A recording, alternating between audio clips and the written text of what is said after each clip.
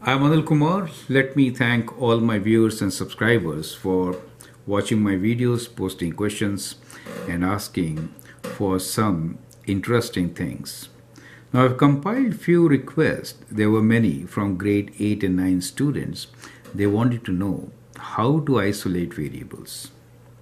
So here is collection of few formulas which you'll see in your textbook. I would like you to pause the video, copy these formulas and practice how to isolate variables, correct? Now for some of the viewers who are new to algebra, let me explain them a bit. What you see here is set of equations, many equations. Equal to sign will mean equation. All these these alphabets, lowercase or sometimes uppercase, are called variables. Now these variables are connected in some way or the other with some operation, addition, subtraction, multiplication or division. We have also taken square and square root. Now when I say isolate each formula or when I, when I say rearrange each formula to isolate the variable indicated. I really mean that the formula is d equals to s into t. You need to isolate s, right? So what is s equals to, right? See, the formula is a equals to a plus b times h divided by 2. You need to isolate h. So I hope that concept is absolutely clear, right? Now, only in this example, for multiplication, I have written that sign, but normally we don't write it. So if I write mx, it means both are multiplied, right? So PRT means all three are multiplied. So I, that is interest, is equals to principal amount, rate of interest, and time. That's the standard formula. You need to isolate P. So I hope the concept is clear. And you have copied all these questions. I'd like you to isolate variables and then look into my suggestions, right? So let's begin to solve them one by one. By solving, I really mean isolating the required variable, correct? Okay, so the first one is d equals to s into t. We say distance equals to speed into time. What is speed? That is what it is. So to isolate, what we will do here is we will divide both sides by t. Since we need, we want to know what s is, right? So first step is divide both sides by t since we want only s. So it becomes d over t equals to s times t over t, right? Now as you can see, we can simplify this. t divided by t is 1, right? Since t divided by t is 1, we can write d over t equals to s. And so we have isolated what s is. So s is equals to distance d over time t. Is that clear? So that is what we really mean, right? So when we say isolate variable, we mean in this formula, rearrange so that you can find what S is directly. Perfect. So here is a very similar question. Uh, all these three terms are multiplied. We want to find what P is. So what should be your first step? First step should be, since we are writing I equals to PRT, we should divide both sides by what is not required, R and T we have to isolate P, right? So both sides you will divide by R and T, right? So clearly on the right side of this equation, R cancels with R, T with T. You're left with I e over RT equals to P or principal amount P is interest divided by the rate of interest into time. Perfect. And you have isolated and from a given formula, you have actually derived another formula. Do you see that? That is what we are going to do. I hope the concept is now clear to all of you, right? So now you can answer these questions and then look into my suggestions. v equals to u plus at, you need to isolate u. We use this formula to find velocity. We say final velocity equals to initial velocity plus acceleration into time. Well, let's see how to isolate this kind of or rather how to rearrange this kind of equation to isolate variable. Since we want u and we do not want at, we'll take away at from both sides. So we can write this as v minus at equals to u plus at minus at. Is that clear? Now at minus at is 0. So you're left with u on the right side, v minus at on the left side of equal to sign. And now we can write what u is in terms of velocity v, acceleration a and time. So, so I hope this concept is getting clear. Perfect. So it was simple operation where we did kind of reverse operation, right? So we reversed. Everything which is added, we added negative of that. And if it is multiplied, we are going to divide. Perfect. Let's look into this. y equals to mx plus p, you need to find what m is. Now this equation is used for equation of line, right? Okay, mx plus p, what we need really is to isolate m. So first take away b from both sides. So we get y minus b equals to mx plus b minus b. Now b minus b is 0, so we get mx equals to y minus b. Now I want what m is, so I'll divide by x on both the sides. So I get y minus b divided by x equals to mx divided by x. Or we can write m equals to, since x and x will cancel, correct? You're left with m equals to y minus b over x. Is that clear? Right? So that is how you can isolate. Now in equal to sign, you can put your variable on left or right side it doesn't matter, it's one of the same thing. However, it is a practice to isolate means keep it on the left side by default. So it's preferred to write this equation as m equals to y minus p over x. So I hope that part is clear. So in most books, you will always see that the variable which you want to isolate is written on the left side of the equation. Perfect? Now let's see the other two equations. Now as we move on, things are becoming more complicated. Perfect. Now here, a equals to a plus b times h divided by 2. How are you going to isolate h? Well, first step should be to multiply by 2, right? And then what? Okay, we say cross multiply. So we could say cross multiply. Okay, this is my first step. So I'm writing this as 2 times a equals to a plus b times h. Now I need to find what h is. So we can divide by a plus b on both the sides, right? So we'll do 2a divided by a plus b equals to a plus b times h divided by a plus b. Perfect. So a plus b and a plus b cancel and we are left with h equals to 2a over a plus b. Well, you can now write down the formula with h on the left side, but for me, I'll just leave it here. Is that clear? Perfect. Let's do the next one. We want to isolate L. I think you can do it easily. First step is let's divide by 2. So we'll do P divided by 2 equals to 2 times L plus W divided by 2. Now this 2 and 2 will cancel. What I mean by cancelling? 2 divided by 2 is 1 and 1 times anything is that number itself. So we get P over 2 equals to length plus width. We want to find what length is, so let's take away width from both the sides. So we get P over 2 minus width equals to length plus width minus width.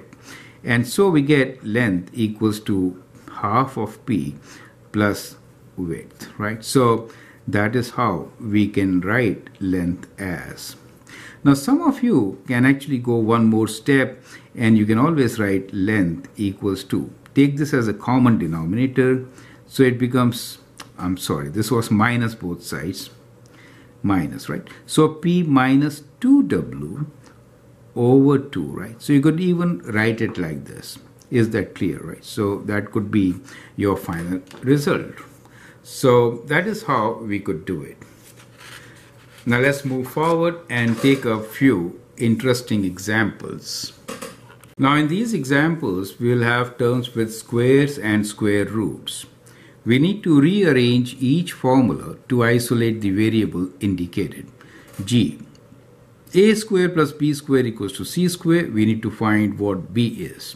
So first step, A square plus B square, we could take away a square from both sides. We'll say minus a square equals to c square minus a square, right? So what we get here is b square equals to c square minus a square. Now to get b, we will square root both sides. Now square root is something which is reverse of square, right? So when you square root, you get, let me show you here, right? So we do square root of this and we do square root of c square minus a square, right?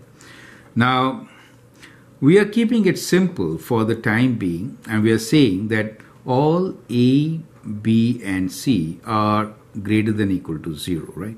So normally we use this formula for a right triangle. So, so we are working in a very special condition where length of each side. So length is positive, so we are keeping them positive. Uh, we are not putting any negative sign at this stage. Is that okay? So we'll keep it all positive and then move forward. So square root, this is reverse operation. So you get b equals to square root of c square minus a square, right? So that is what you get. Perfect. Now here also we will assume that h and r are both real numbers and they are greater than equal to 0 okay? So uh, that is important to consider. Now at higher level you will also see that we may have equations where it could be any value. So there we'll get plus and minus sign. So i'm not getting there now. Is that okay? So we are limiting ourselves to introduction to this basic topic right? So we are saying introduction. So remember, we have some restrictions to work with so that I don't really confuse you, right? So think that height, h and r are real numbers greater than 0 or equal to 0. Is it okay? So let's begin. We need to isolate r. Now, can you do it? Let's rewrite. So we have volume equals to 4 over 3 pi r square. We want to isolate r, right? So we don't want h pi all those things on the right side. What should I do? I should definitely multiply by something which will leave only r term here, right? So I could multiply by 3 over 4 pi. Do you see that? 3 over 4 pi. In that case, 3 and 3 will cancel, 4 pi will cancel with 4 pi. Perfect, that's what I'll do. So I'll multiply by 3 over 4 pi. Is that clear, right? That's what we do. So sometimes it could be complicated as you can see here, right?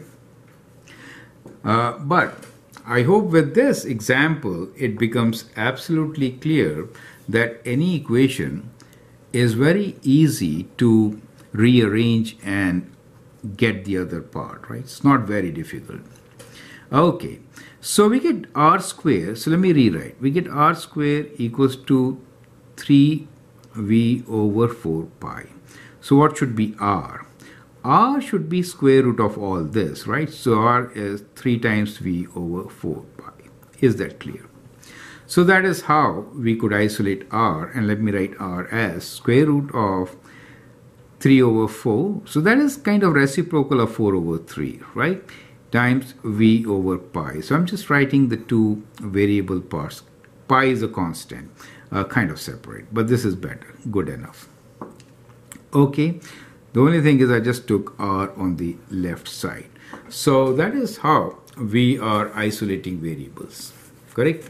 So let's take uh, the last two examples now. Here again we have the terms with squares and square root.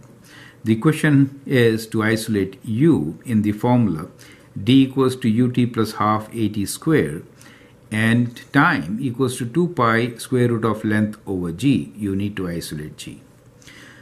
By now you must have learned all the techniques. I'd like you to pause the video and solve this question yourself and then look into my suggestions. Okay, so let's isolate u from here. So first step is we could also think about writing the equation as ut plus half at square equals to d. Now it's one and the same thing whether equal to sign. Both sides left and right are equal. You could just interchange all of them. Okay. We want to isolate u so this term I'm subtracting. So sometimes we can straight away write right? Since if I write minus something minus something that thing cancels. So I could straight away write ut equals to d minus half of at square. Is this step clear so basically, I did minus half of at square, both sides, right? Minus half of at square. Now this became 0, so you left with ut. Perfect. So when you go to higher standards, then that is a preferred way of doing and save some time. So do it only if you have understood all the steps. Okay. Now to get u, we are going to divide everything by t, right? So so what we do here now is to get u, we are dividing this by t, we are just dividing d by t, and we are also dividing at square by t, right? So what we get here is u equals to d over t minus half. Now from at square, 1t gets cancelled, right? So we get half at. Is that clear?